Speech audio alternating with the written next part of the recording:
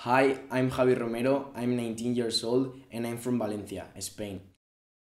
I've been playing soccer since I was 4 years old and I've played for 4 different teams Valencia Club de Football, Cracks, Huracan, and Rayo Sab. I play as a left winger, but I can also play as a right winger, forward, or even midfielder. What I'm looking forward for a scholarship in the USA is to combine both sports and education at a high level.